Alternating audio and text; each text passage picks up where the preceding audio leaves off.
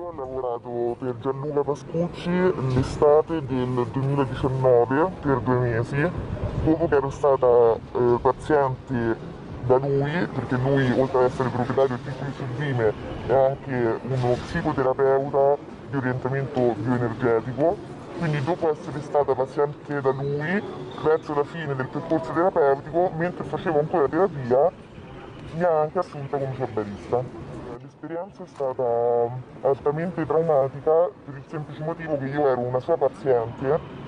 e quindi già di per sé mischiare vita privata e rapporto terapeutico è altamente sconsigliato anche dal, dal codice deontologico degli psicologi.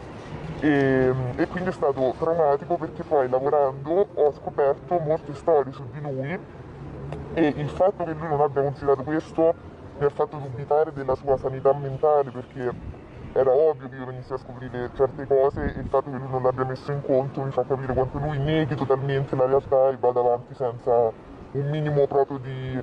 messa in discussione di giudizio rispetto alle sue azioni. E quindi nulla, lavoravo circa 10 ore al giorno senza nessuna direttiva su quello che dovevo fare o non dovevo fare, senza aver avuto mai esperienza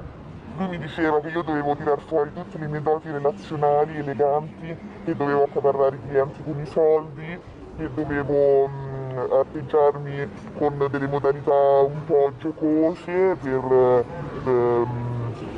per accaparrare tutti i clienti proprio perché io sono molto chiacchierona e quindi lui mi diceva che dovevo sfruttare le mie qualità e dovevo tirare fuori la mia energia sessuale che secondo lui grazie alla sua terapia io avevo ritrovato. E queste erano tutte skills che a quanto pare cioè lui voleva che io tirassi fuori sue, poi nel suo lavoro.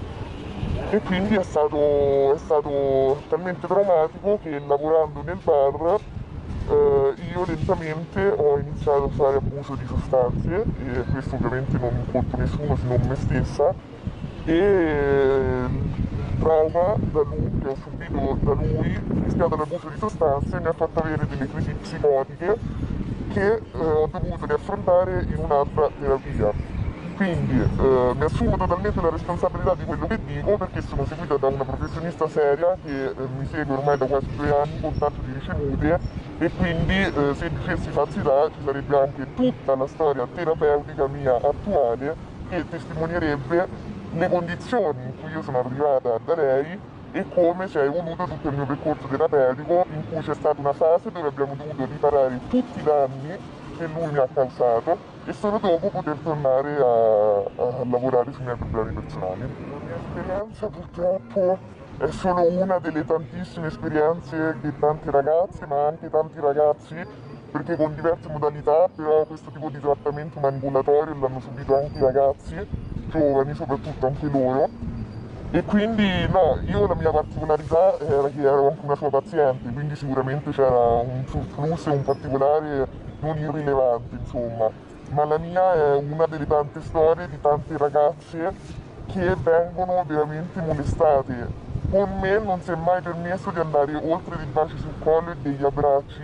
perché sapeva benissimo che per i miei gusti personali a me piacciono le buone maniere, quindi lui ha capito benissimo questo di me e con me non ci è mai permesso di darmi pacchi nel culo di fronte per esempio a clienti, con me anzi faceva il signore, si atteggiava da, da, da, da principe, mi, mi, mi, faceva il baciamano perché sapeva che quello era ciò che insomma era più funzionale per me. Però poi io stessa ho visto come trattava gli altri ragazzi, pacchi sul culo e addirittura ad una ragazza che poi dopo si è girata e gli ha detto ma che cazzo fai? Lui ha detto mamma mia che esagerazione, ormai voi ragazzi di oggi ve la prendete per tutto, eh, hai tutto questo bel vedere perché non metterlo in vista.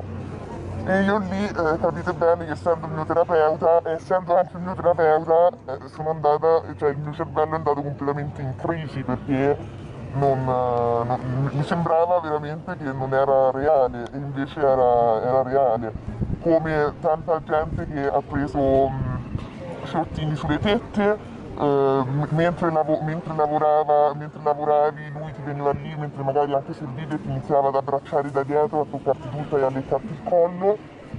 E quindi ecco, eh, no, una, la mia non è una storia particolare, è una storia come le tutte, come le tutte altre, non che io ero anche una sua paziente e questo sicuramente non è un dettaglio da non considerare.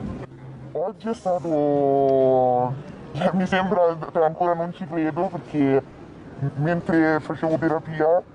per me è stato de- devastante dovermi riprendere da sta cosa. Ci sono stati momenti in cui pensavo che, non mi sarei mai ripresa, ci sono stati momenti in cui cioè proprio perché ho avuto queste crisi psicotiche pensavo ormai proprio boh, che cioè io sentivo dei messaggi da parte della luna, non riuscivo più a capire chi ero, cioè veramente cose che se non le vivi non, non- non- non puoi capire e anzi magari sembro anche una cogliona a dirlo, però vi assicuro che se andate a leggere crisi psicotiche potete capire di che parlo. E non pensavo che sarei mai riuscita a fare tutto questo. E il fatto che oggi l'ho fatto, anche se non mi sono tolta la maschera, e questa è una cosa che- di cui un po' mi incolpo, però quello non, non ce l'ho fatta, ma eh, mi sono sentita veramente che, che forse in realtà per fortuna sono riuscita ad utilizzare questa esperienza traumatica per rinascere, per ricostruire me stessa e per trarne molti insegnamenti. E, e quindi mi auguro che tutte le ragazze capiscano, e questa è una cosa che ci tengo tantissimo a dire, che se hanno problemi con la figura del padre, se hanno problemi familiari, se si sentono in una condizione di fragilità perché abbiamo 20 anni e a 20 anni la vita sembra che ti sfugge di mano, quello che va fatto è trovare l'autonomia dentro di noi, sembrano delle parole fatte, sembrano dei discorsi del cazzo fatti, ma tutto ciò che uno dà per scontato non è per niente scontato e quindi veramente l'autonomia è una costruzione interiore, non devi mai fare affidamento su nessuno perché la forza la devi trovare dentro di te e tutti coloro che iniziano ad adunarti, a mostrarsi per quanto sono grandi, quanto tu dovresti fare come loro, quanto tu dovresti essere come loro, state fottutamente lontane perché sono i famosi narcisisti che si vogliono prendere gioco di te perché ti vedono fragile e quindi no, tu devi essere forte e andare avanti con le tue gambine.